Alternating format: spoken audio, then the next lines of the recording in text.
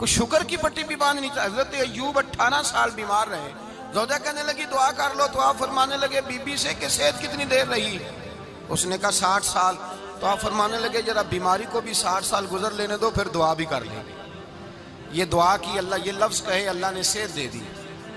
तंदुरुस्ती आ गई। एक दिन घर में बैठे बैठे जोजा कहने लगी कि अयूब ये बताओ, दुख अच्छे के सुख? आप फरमाने लगे, सारे दिन ही अल्लाह के हैं, पर दुख बड़े अच्छे थे। मुझसे पूछो तो दुख बड़े बड़े अच्छे थे। का किस तरह?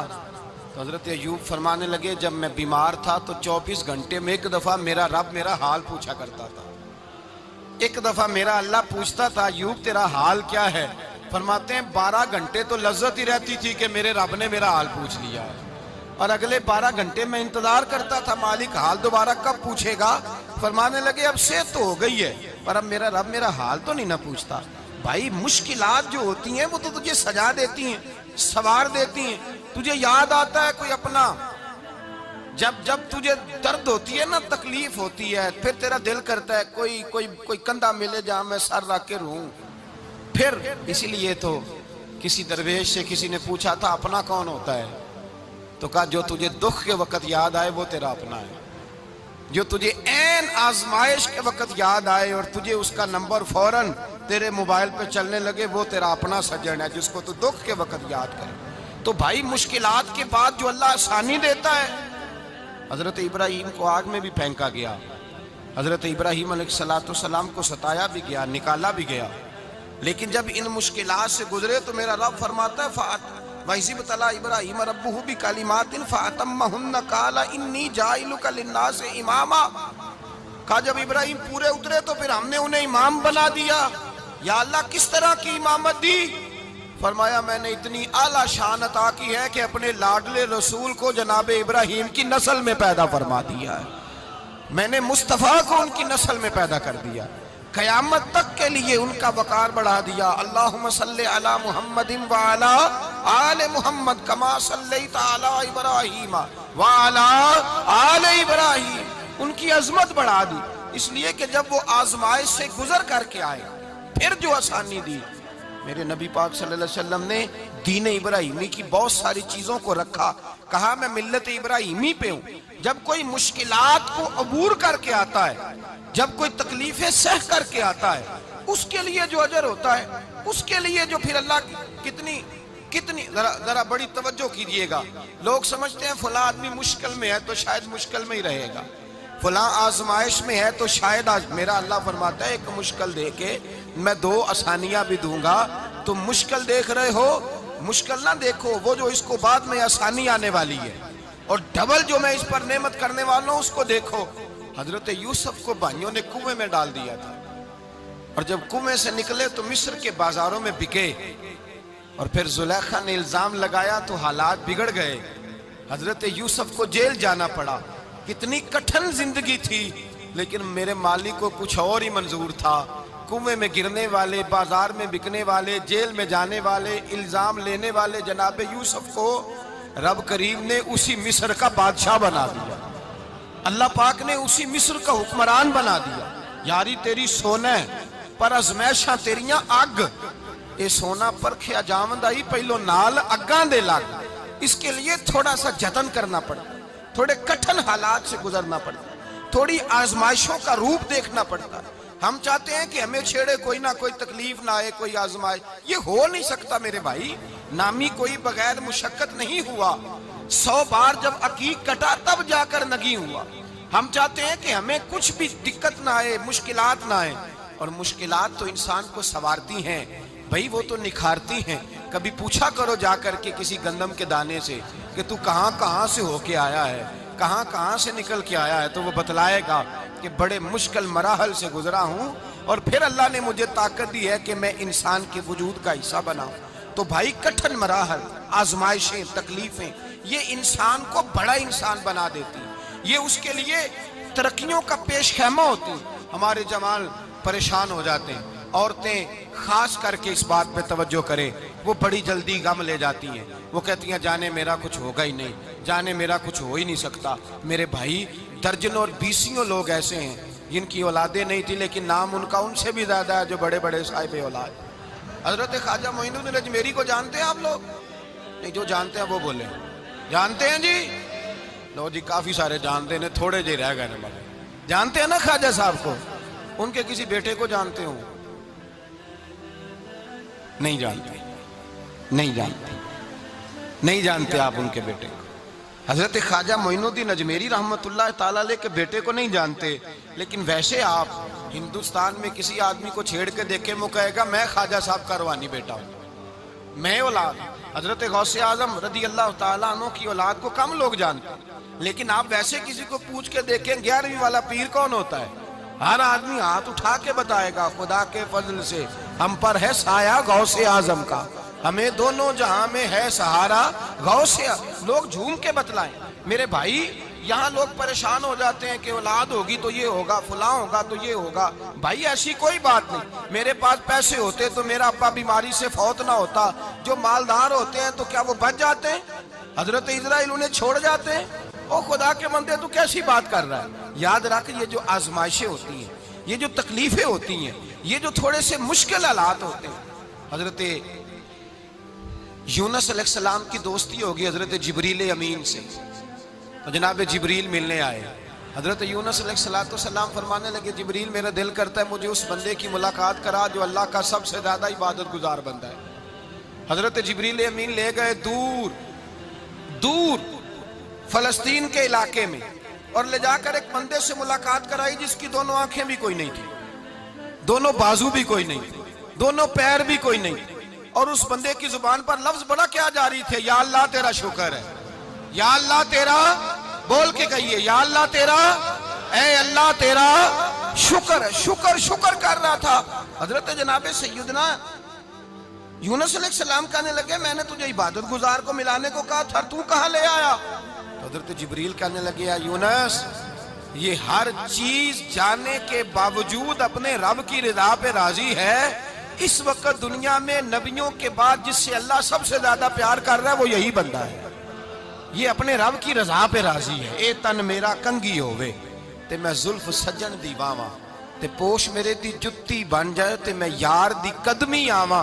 मारो मारो, मैनू मार मुकाओ, कोई उजर न पेश ले आवा, ते जे सोना ही मेरे दुख विच राज़ी। जे सोना ही मेरे दुख विच राज़ी, जे सोना ही मेरे दुख विच राज़ी, ते मैं सुख न चुले डावा। मालक ही जब इस हाल में राज़ी है तो बस ठीक हो गया। ठीक हो गया। वसल अच्छा है ना फिराक अच्छा है। बस जिस हाल में महबूब रखे, वही हाल अच्छा है। बस जिस हाल में उन्होंने रखा, बात ठीक हो गई। इसमें अब इंसान शिकवा करते फिरे कि ये किस तरह है, वो किस तरह, अपने आप को मुतमिन रखा है।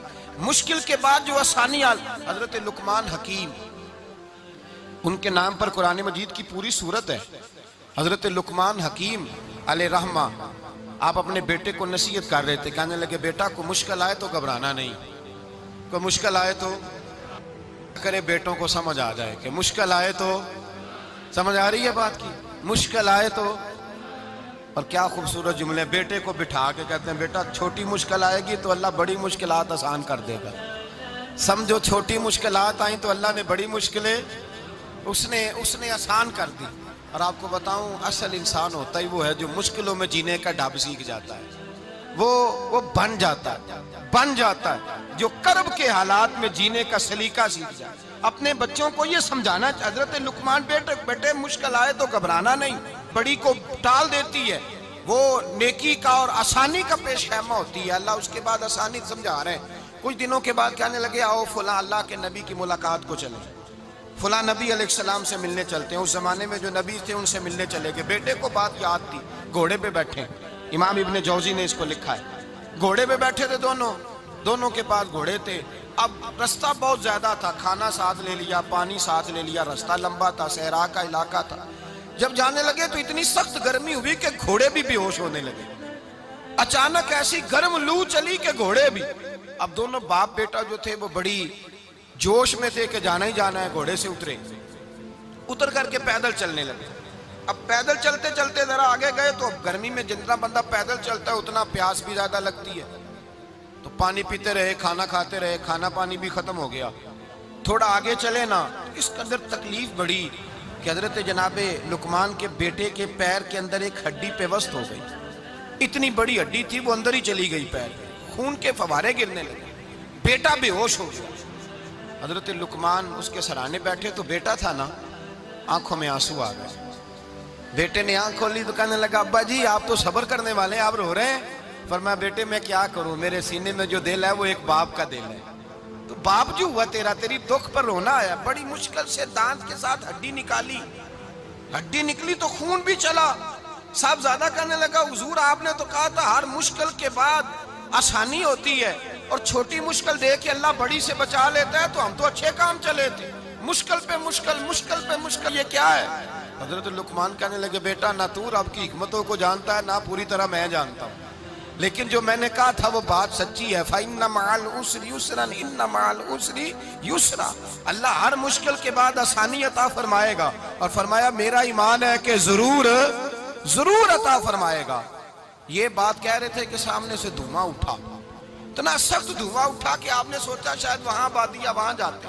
वहाँ चलने लगे तो पीछे से किसी ने आवाज़ दी, ठहर जाओ, रुको। वहीं रुक गए। थोड़ी देर गुजरी तो कहा, रुक जाओ, जब रुके। तो एक बोलने वाला बोला, कहने लगा, तुम्हारे लिए थोड़ी देर के बाद जानवरों का बंदोबस्त कर दिया जाएगा, खाने का भी बंदोबस्त हो जाएगा। बच्चे का पैर भी सही हो जाएगा, चले जाना, लेकिन जरा ठहरो। हज़रत लुकमान कहने लगे, बोलने वाले, तू कौन है? तो कहने लगे, मैं अल्लाह का फरिश्ता हूँ। मैं अल्लाह का फरिश्ता हूँ। कहा, अल्लाह के फरिश्ते और ये सारा कुछ क्या है? तो फरिश्ता कहने लगा, असल बात यह है कि सामने बस्ती पर मुझे अजाब नाजल करने का हुक्म मिला था। आप बड़ी तेज़ी से आ रहे थे। मैंने रब से दुआ की कि अल्लाह, इस बाप बेटे की गलती कोई नहीं। मेहरबानी फरमा। रब ने पहले आपको सहरा में उलझाया। फिर मेरी दुआ की बरकत से आपके घोड़े ठहर गए। फिर मेरी दुआ की बरकत से आपका पानी खत्म हुआ। फिर मेरी दुआ की बरकत से आपके बेटे को जख्म आया। फिर मेरी दुआ की बरकत से सामने से धुआँ उठा। फरमाया, ये जो तुम्हें मुश्किल पे मुश्किल आ रही थी, ये तो मेरा रब तुम्हें अजाब से बचाना चाह रहा था। ये जो तुम्हें मुश्किल पर मुश्किल आ रही थी तो मेरा मालिक तुम्हें अजाब से बचा रहा था तुम समझ नहीं रहे थे। हज़रत लुकमान ने बेटे की तरफ़ देखा तो बेटे कहने लगे, अब्बा जी, बात बिल्कुल सच्ची है। अफदल ज़िक्र और फिर पढ़ने लगे हसबुन अल्लाह व नेमल वकील नेमल मौला व नेमन नसीर ये विरद होने लगे। भाई, जब तुझे मुश्किल आती है, आजमाइश आती है तो उस वक्त समझता है, पता नहीं मेरे साथ क्या बनने लगा है। अल्लाह तबारक व ताला छोटी मुश्किल दे के तुझे बड़ी से महफूज रखता है। छोटी बीमारी दे के तुझे बड़ी से महफूज रखता है।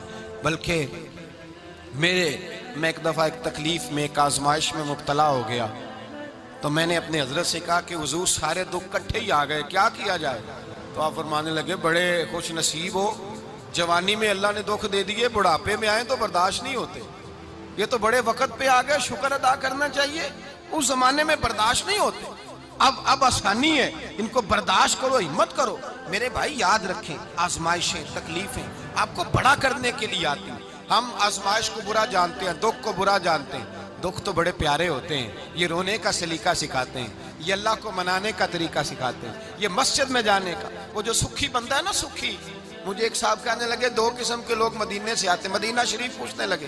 कहने लगे, हज़रत जी, दो किस्म के बंदे हैं। कुछ वापस जाते हुए तड़प रहे हैं। कुछ तस्वीरें खींच रहे हैं, रुखसती के वक्त फ़र्क क्या है? तो मैंने कहा, वो जो तस्वीरें खींच रहा है, वो अमीर आदमी है। उसे पता है कि मैं फिर टिकट ले लूँगा, महीने के बाद फिर आ जाऊँगा। और ये मदीना छोड़ते हुए तड़प रहा है, ये कोई गरीब है।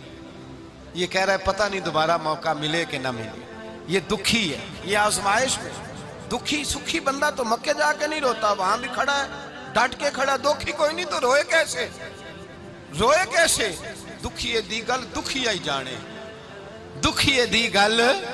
ओ क्या, क्या खूबसूरत लफज है। मियाँ साहब की और लफ्जों में हुसन देखे कहने लगे दुखिए दी गल। ए दुखिया ही जाने ते सुखिए नू की खबर? ते यार जिन्हों दे मौत ने मारे रोंदे नहीं तक तक कबर ये मुश्किल मरहला होता है। जब इंसान तकलीफ़ में होता है फिर उसे एहसास होता है। और तकलीफ़ वाले को ही तकलीफ़ वाले की तकलीफ़ का एहसास होता है। जब आपको अल्लाह मुश्किल देता है तो समझ ले रब आसानी देना चाह रहा है। जब तेज धूप आती है तो समझ ले अल्लाह गर्म हवा गुजार के ठंडी बारिश बरसाना चाह रहा है। और जब चारों तरफ़ से घुटन हो, पंजाबी में कहते हैं, गुम्मा लग जाए तो फिर सारे बोल के कहते हैं, अब जो तूफ़ान आएगा, वो सख्त आएगा। इसलिए कि घुटन जितनी ज़्यादा होती है, फिर फजल भी उतना, जिन लोगों ने तकलीफें ज़्यादा सही थी, रब ने इज्जतें भी ज़्यादा ही अता फरमाई। जिन लोगों ने तकलीफें ज़्यादा सही ना, उन्हें अल्लाह ने दर्जा भी हज़रत बिलाल अबशी ने बड़ी तकलीफ़ सही। मारा करता था मैया बड़ा मारते थे। इतना मारते थे कि मोटे, आपने कभी देखे हैं देहातों में मोटे मोटे मोटे मोटे पाए होते थे चार पाइयों के, मोटे मोटे। मोटे मोटे पान की चार पाइयाँ और बड़ी चार पाइयाँ काफर बिछा के बैठ जाते। और हज़रत बिलाल अबशी के पैर उनके नीचे रख देते। हाथ उनके नीचे रख देते। आग लोहा गर्म करके उसके ऊपर नंगे बदल लिटा देते। मक्के ने बड़ी आजमाइशें देखी। फिर उसी मक्के ने मदीने ने अजीब रंग देखा कि मेरे नबी मिराज से वापस आए। और हुजूर ने अजमत दी, फरमाया, बिलाल, यार तेरा बड़ा मकाम है। तू मदीने में चल रहा था और मैं जन्नत में तेरे कदमों की आवाज़ सुन रहा था। कितना तेरा मकाम है, कितना तेरा दर्जा है। मैं वहाँ तेरे चलने की आवाज़ सुन रहा था। हज़रत अबू बकर सिद्दीक रज़ी अल्लाह तला ने उस जमाने में हुजूर की नौकरी की जब दूसरा जानसार कोई नहीं था। सारे लोग ताने देते, कहते, अबू बकर, तू अकेला ही सियाणा है। सारा मक्का मुखालफत करता है, तू जान ही नहीं छोड़ता। सारा जमाना मुखालफत करता। अबू बकर सिद्दीक ने माल भी दिया, जान भी दी, शहजादी हज़रत आयशा भी दी हुजूर की खिदमत में। हर चीज़ लुटा दी दुनिया को पता उस दिन चला, जिस दिन मेरे रसूल पाक सल्लल्लाहु अलैहि वसल्लम मस्जिद नबी में बैठे थे, दर्जनों से आबा थे। हुजूर ने फरमाया, अबू दरदा को तो बुलाओ। जनाब अबू दरदा हाजिर हुए तो कहते हैं, हुजूर का चेहरा देखा तो नाराज़गी है चेहरे पे। मैंने देखते ही कहा, हुजूर, आप मुझसे नाराज़ है? हुजूर ने फरमाया हाँ मैं नाराज़ हूँ। जब ये लफ्ज कहे तो मैं कांपने लगा, हुजूर नाराज़ हो गए। मैंने कहा, या रसूल अल्लाह मेरी गलती नबी पाक ने फरमाया, तू मेरे अबू बकर की अजमत नहीं जानता? हुजूर जानता हूँ, हुजूर क्या हुआ? नबी पाक ने फरमाया, कल तू गली में गुजर रहा था, अबू बकर भी गुजर रहा था। तूने सोचा ही नहीं, तू मेरे अबू बकर के आगे आगे चल रहा था। ये ख्याल ही नहीं आया, तुझे पता नहीं? कि जिस जिसने मेरे साथ नेकी की, मैंने बदला चुका दिया है। अबू बकर का बाजू थाम के अल्लाह की बारगाह में ले जाऊँगा, मेरा रब भी उसे बदले अता फरमाएगा। ये अजमत, ये शान, ये बुलंदी और रिफत मुश्किलात से गुजरने के बाद मिली। मेरे नबी पाक सल्लल्लाहु अलैहि वसल्लम के साथ मौला कायनात शेर खुदा हज़रत अली ने नौ साल की उम्र से वफा शुरू की और तादम आखिरी हज़रत अली ने वफा की मुस्तफ़ा से। कठन मराहल से गुजरे, कठन मराहल से। हज़रत अली कहते हैं, मैं हर जंग में, हर जिहाद में साथ था, पर जिस दिन मक्के और मदीने से आने वालों को हजूर भाई भाई बना रहे थे महाजर और अंसार को भाई भाई बना रहे फरमाते, मैं तनहा खड़ा था। कोई किसी का भाई बन गया, कोई किसी का भाई बन गया। मैं अकेला खड़ा था और मैं सोच रहा था कि यार मैं किधर जाऊँ?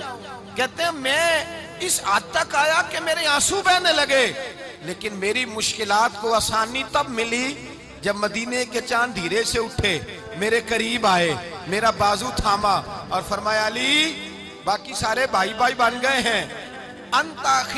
दुनिया वाला खिरा तू मेरा भाई है। दुनिया में भी मेरा भाई है। कयामत के दिन भी मेरा भाई है। हजूर ने एजाज दिया और गदीर खुम के मौके पर हज़रत अली का बाजू थाम के खड़ा करके हजूर ने फरमाया, मन कुन तू मौला हूँ। फाज अली मौला। फरमाया, जिसका मैं मौला हूँ, उसके अली भी मौला महबूब पाक सैयद आलम सल्लल्लाहु अलैहि वसल्लम ने जिन लोगों ने मुश्किलात बर्दाश्त की, फिर उनको एजाज मिला, उनको दर्जे मिले, उनके लिए जो आसानी, हज़रत उस्मान गनी ने सियाबा में सबसे ज़्यादा मजलूमियत काटी, सबसे ज़्यादा मजलूमियत, चालीस दिन पानी बंद रहा, खाना बंद रहा, तकलीफ़ और आजमाइश का वक्त हुआ। इमाम जलालुद्दीन सयूती रहमतुल्लाह फतावा में लिखते हैं, कहते हैं जब हज़रत उस्मान गनी पर खाना और पानी बंद था एक शाम हज़रत अब्दुल्ला बिन सलाम मिलने गए। उस शाम, उस सुबह, जिस जिस शाम हज़रत सैदना उस्मान गनी शहीद हुए, जनाब अब्दुल्ला इबन सलाम कहने लगे, उस्मान, तेरा क्या हाल है? किस पोजीशन में है? तो कहते हैं, जनाब उस्मान गनी कहने लगे, अब्दुल्ला, आज मैं बड़ा सुख में हूँ। कहा, चालीस दिन बीत गए, खाना नहीं आया, पानी नहीं आया तो आज क्यों सुखी हो? फरमाने लगे, आज मदीने की सामने वाली गली में मैंने मुस्तफ़ा का दीदार किया है। और नबी पाक सल्लल्लाहु अलैहि वसल्लम ने फरमाया, उस्मान, अगर तू कहे तो तेरे लिए पानी का बंदोबस्त कर दिया जाए, तेरी मुश्किल आसान हो जाए। और अगर तू कहे तो तेरे लिए वो आसानी की जाए, वो आसानी की जाए कि आज तू मेरे पास आके रोजा इफ्तार कर ले। तो हज़रत उस्मान गनी कहने लगे, मैंने मुस्तफ़ा से अर्ज़ किया, हजूर, मुझे यहाँ का शौक नहीं चाहिए। मुझे वो आसानी चाहिए जो आपके पास इफ्तार से मिलेगी। फरमाने लगे, आज मैं रुखसत हो जाऊँगा। इफ्तार रसूलुल्लाह के पास करूँगा। हज़रत अब्दुल्ला इब्ने सलाम फरमाते हैं, फिर उस शाम हज़रत उस्मान शहीद हो गए। लोग कहने लगे, उस्मान शहीद हो गए? और मैं कहने लगा, नहीं, उन्होंने जाके नबी पाक के दस्तरखान पे रोजा इफ्तार कर लिया है। रोजा इफ्तार, भाई, फिर बाद में जो आसानी मिली इन लोगों, जो इन लोगों को दराजात नसीब कठन हज़रत अब्दुल्ला मुजनी, हुजूर के गुलाम थे। कबीला मुजन के रहने वाले, वालिद फौत हो गए। चचा ने पाला था। इस्लाम कबूल कर